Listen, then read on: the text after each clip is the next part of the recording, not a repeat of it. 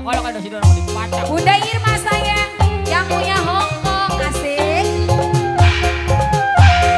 Spesial khusus buat semuanya. Nama milih si bapuk